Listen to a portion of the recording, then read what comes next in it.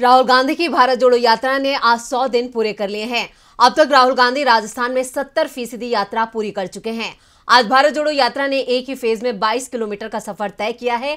राहुल गांधी की यात्रा ने आज नया रिकॉर्ड बनाया है। आज मीडिया के सवालों का जवाब देने वाले हैं राहुल गांधी। और क्या कुछ खास है आज की यात्रा में? देखते हैं ये रिपोर्ट।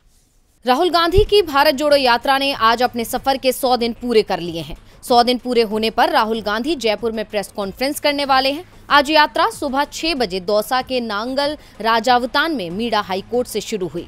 आज यात्रा ने एक ही चरण में 22 किलोमीटर का सफ़र तय किया है। भारत जोड़ो यात्रा सुबह 11 बजे दौसा के गिरिराज धरण मंदिर पहुँची। यही यात्रा का आखिरी पड़ाव है।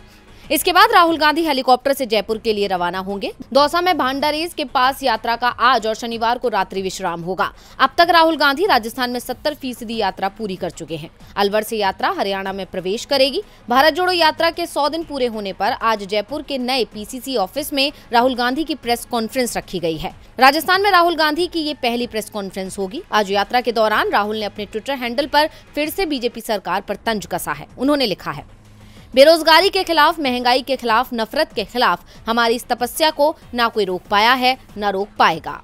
यात्रा के 100 दिनों में राहुल गांधी की एक मज़बूत छवि जनता के सामने आ चुकी है। राहुल गांधी सीधे पीएम मोदी को चुनौती देते हैं। अपनी पहचान के साथ राहुल गांधी ने देश में बदलाव की अलख जगा दी है। भारत जोड़ो यात्रा के 100 दिन पूरे होने पर ट्विटर हैंडल पर डीपी भी बदल दी गई है। कांग्रेस की नई डीपी में 100 डेज़ ऑफ़ यात्रा लिखा दिखाई दे रहा है, जो कांग्रेस और राहुल की मजबूती को दर्शाता है। आज की यात्रा को खास बनाने के लिए जयपुर में सुनिधि चौहान का लाइव कॉन्सर्ट भी रखा गया है। अब तक यात्रा को कई जानी मानी हस्तियों का समर्थन मिल चुका है। डीवी लाइव की रिपोर्ट।